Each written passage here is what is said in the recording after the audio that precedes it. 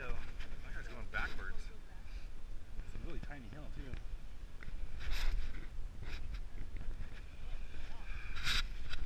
Look, there's people sledding over there. You see that? Well, kind of far to go. What do you mean? We got brought our skis. Not pizzaing. Not pizzaing at all. Not pizzaing at all. Oh, shit.